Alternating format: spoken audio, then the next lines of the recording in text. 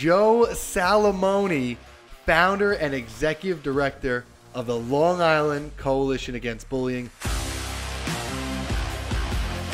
For anybody who needs help, the easiest way of doing it is 516 777 7709. We help those who are the targets, but we are also here to offer the same services to those who are exhibiting the behavior. Our job is to inform and educate so that in the hopes that they will find their own right or wrongs. Once you start changing minds, you then start changing behaviors.